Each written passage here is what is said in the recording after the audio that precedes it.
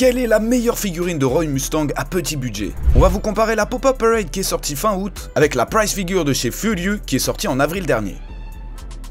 Alors première grosse différence, chez Good Smile on retrouve un Roy Mustang en mode chill, main dans la poche plein d'assurance. Alors que chez Fudu on retrouve un Roy Mustang mal en point. Il est plus sérieux et couvre sa blessure. Au niveau de l'outfit c'est le même, un peu plus foncé du côté de chez Fudu et avec aussi plus de mouvements.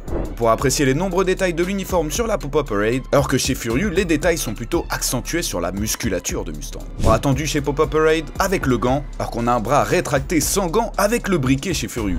Au niveau du visage, au-delà du petit sourire, il est plus blanc et correspond plus au design du manga chez Pop-Up Parade. Alors que chez Furious, ça correspond plus à l'animé. Là encore, c'est une question de préférence. Mais gros avantage chez Furieux avec ce socle, puisqu'on peut y retrouver le cercle de transmutation de Mustang. Pour nous, c'est donc la price figure de chez Furieux qui remporte ce duel. Et ça tombe bien, elle est disponible sur solarisjapan.com. Like et abonne-toi pour d'autres vidéos comparaison.